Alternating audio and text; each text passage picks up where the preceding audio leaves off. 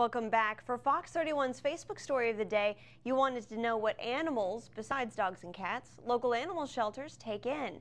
Animal control officers with the Lee County Animal Shelter say they've taken in everything from raccoons to deer and even an emu. Parrots and rabbits have also been accepted. Officials say many of the animals were kept as pets, but once they're captured, the owners never come forward to pick them up.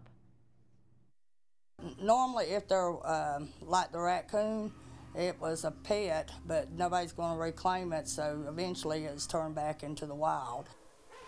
Animals are normally released back into their natural habitat, while small pets are oftentimes adopted out.